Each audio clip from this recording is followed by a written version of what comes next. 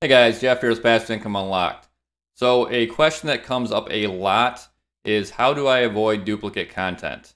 So this is one that I've seen over the years many times where people just say you gotta avoid duplicate content, you gotta avoid duplicate content. Google's gonna knock your site down and so on. Um, for one, I don't think it's too big of a deal if you have some duplicate content on your site. Um, I think that's probably been a little bit overblown. Basically, what ends up happening is you're not going to be punished for it. You're just competing with yourself.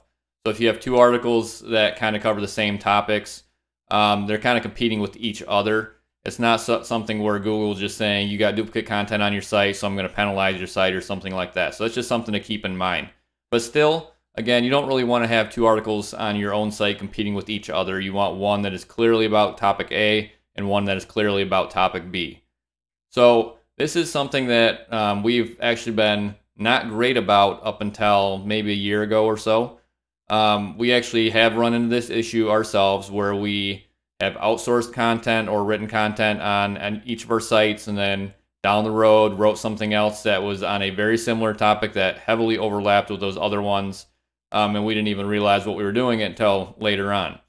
Um, that's easy to do when you are producing hundreds of articles um, or thousands of articles within a year. And across our sites right now, I think we are somewhere over 4,000 articles, maybe 5,000. I can't remember, but we're somewhere in that range. So you do eventually start to lose track. And if you don't have a good system for it, um, you are definitely going to create duplicate content on your sites. So we did finally identify this about a year ago, and we figured out we need to we need to figure out a plan for this going forward. So basically, we worked it into our workflow where we eliminate this problem pretty much altogether. So we go over this um, throughout our course, but basically now as part of our keyword research process, we identify each cluster on the site. So we're very thorough. So from day one, we have our niche. We identify all the topics, all the subtopics. Then within each one, we're going to select, okay, we're going to target this one first, and this one, and this one.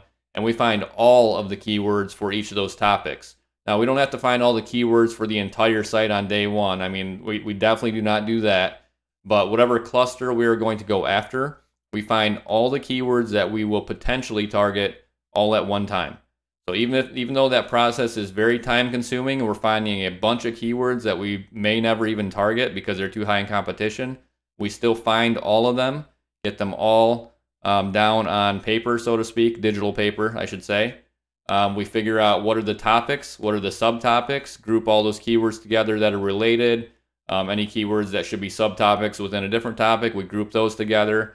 And basically, we take an entire cluster, build out exactly every single article that we would potentially write for that site, or for that cluster, I should say. Then we just have it ready to go. And then from there, we're just picking and choosing which articles we're actually going to write or outsource. So we can just say, okay, I've got a list of 100, let's just say 100 to make it easy, 100 keywords or topics within a cluster on site A and there's probably only about 30 of them that we want to outsource. That's probably enough to say, okay, we've got some good topical authority here. We're, we're producing a lot of content around this particular cluster, but we're not going after every single topic under the sun, right? But we'll take those 30, we'll have it on our keyword list. We'll take the other 70, we move it over to a different tab uh, as part of that workbook and say, we will come back to these down the road if we want to. But whatever the case, we've already identified them. We're not going to do any more keyword research on this particular topic. That way we never create duplicate content on our site. So again, this is a process that works for us going forward.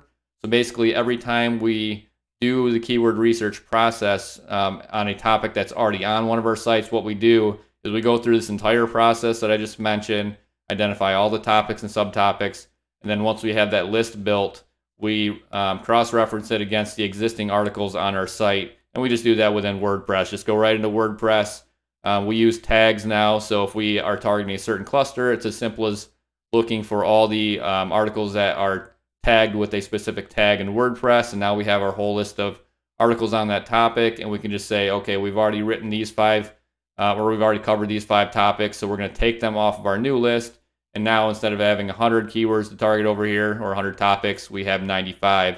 Then we go from there. Now we're avoiding that duplicate content going forward.